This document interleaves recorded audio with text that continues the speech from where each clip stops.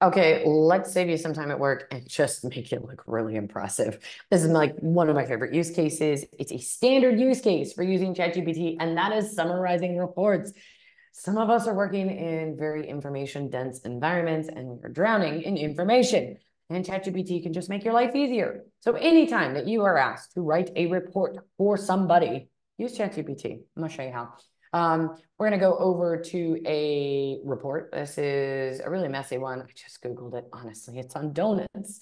Um, for those of you that don't know me, my name is Nicole. I uh, founded Boring AI. It's an AI literacy education company. And my branding is all donuts. So I use donuts in um, all of my training and examples. So we are going to copy this information. And yes, is it, it is messy. All of this is messy. Um, we're going to copy it and we're just going to dump it into ChatGPT. Now, some other platforms, you can just share a link. And I could actually share a link here, but I'm not going to. I'm just going to copy it. Um, you can upload data, right? This is attaching data. I'm just being lazy. I'm just going to cut and paste here. And I'm going to cut and paste all that garbage in there. And, ah, no, we do not want the report. I want uh, this. Okay, so here is all of that data. And I am asking it to give me, there we are, to summarize the report. I want the key takeaways, the trends, the recommendations for my struggling donut business. That's where I'm assuming I am, and some areas to consider. Your audience is executives, so keep it short. Now, I do that because we all know ChatGPT tends to be so wordy. It drives me nuts.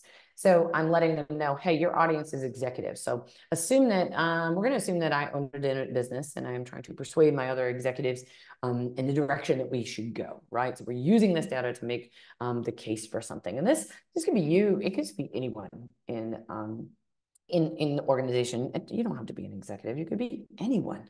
Um, learning how to communicate uh, concisely and in bullet points uh, for people who uh, work above you in leadership or management is such a key skill. Um, and ChatGPT can just help you do this much more effectively. So um, here's all my garbage content. There's stuff in there that it doesn't really need, but we're going to give it to the model anyways. And I'm going to add the report. You don't have to do this. This is what I like doing because I like telling the model um, exactly when it has data, what the data is. So this is my prompt. This is letting it know where my data is at. And again, you don't have to have fancy prompts, right? Um, uh, the things that I'm doing in here is I'm telling it what it's supposed to do. I'm telling it what I want. And then telling it who the audience is. So the format, I want it formatted in a way um, that is digestible because this, this is not digestible. This is terrible. Okay, so now we have, I'm going to zoom out. Now we have, great, we have our report. Imagine copying this and just putting it in a document and giving it to your leadership, whoever report to. My gosh, you just saved so much time. Um, here's what I like about this. We've got trends, we've got challenges, recommendations. You know, this is kind of like gen this is like them applying general business knowledge to your product, right? That's useful. Here's what we can consider. Okay, well, this is kind of generic. Innovation. Yeah, continuously innovate by launching new flavors and products that align with customer trends. Yeah, obviously. Isn't that what all businesses are supposed to do? Anyway, that's kind of generic, but the top part is pretty good. Now, here's the thing I want you to check on. Um, check the metrics because we know, check the data. We know that generative AI hallucinates. So this is fine if you're using it for your own kind of um, purposes. But if you're presenting this, let's say to like in a high risk situation where like your managers are going to make huge decisions based off of this information, you want to make sure it's correct. So we're going to go over to the report. I'm just going to do a simple find. And we're going to make sure 1122 was actually listed. So USC 11, uh, 11 billion is actually listed in here. So it's projected to grow 11 billion um, dollars in 2024, the donuts market, which, hey, that's a surprise to me. Um, and we see that the global donut market is projected to grow. So that's actually correct. And I would fact check some of the numbers um, just in case, because we know AI hallucinates. But then we see kind of these trends here. So now we can build on this. And let's say, let's say you've now created this report. You want to go a step further and look good to your boss? Say, okay, these are the trends. Create a list of innovative ways our struggling business can capitalize. That just means take advantage. take advantage, because I couldn't spell it, of these trends. And here's the thing, that's what I like about ChatGPT. You don't actually have to know how to spell in order to use it. It just understands. Okay, okay, launch a health conscious line. We could do vegan donuts. Had some good vegan donuts before. Um, nutrient enriched donuts with protein, fiber. I mean, seems like it defeats the purpose of donuts. But again, if you're looking to, you know, capitalize on the trends, we have limited edition seasonal flavors. Again, so you can start to see here, right? We're now brainstorming. We went from creating, summarizing a report and creating it to brainstorming all in what, five minutes? Imagine how much work this saves for you. Imagine bringing this to your boss who doesn't know you're using ChatGPT. You don't have to tell them and say, hey, I have some ideas. Here's what I wrote in the support. I have some ideas. You mind if I send them to you? Okay. Yeah, your boss says, yes, great. Create an email,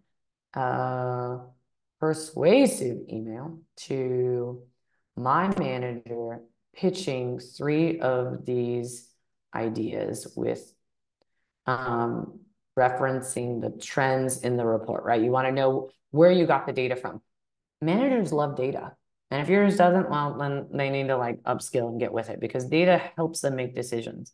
So reference the trends in the reports, um, keep it short, no yapping, and with an ask to meet with my boss about to discuss discuss these ideas. So now Oh, we've gone from summarize this report to creating a report to getting brainstorming ideas to creating an email, pitching your manager and requesting, you know, a conversation with them about these ideas. Now, here's what I would do. If you get that meeting, like, you need to be prepared.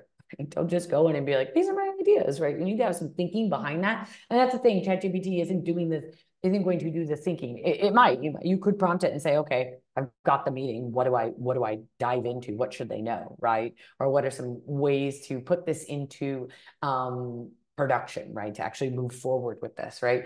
Don't go in there with just kind of this. You need to have something behind it, but you can see the time you've saved. This is what, like an afternoon's worth of work, depending on kind of your um, experience level. So We've gone on a journey just to cover what we've done today. We have used the probably the most useful practical use case for ChatGPT, which is just summarizing information. Then we made a report out of it. So we summarized it and we made a report out of it so you could send that to people. Then we went on the strategy route and said, what can we do, right, with this data? What can we do with this information in my business? Then we wrote an email to your boss pitching these ideas, right? We've gone a long way today. So these are some great practical use cases for ChatGPT. I'd love to know, how are you using summarization with ChatGPT or really any other LLM? We have others out there. We have Claude, we have Gemini, we have Copilot, and so on. Those are all names of different types of LLMs that you can use. So let me know how you're using um, ChatGPT to summarize and what you're summarizing. And then do you also do this where you just stack tasks on top of it and we move from, you know, summarization to brainstorming to emailing and so on. So let me know in the comments.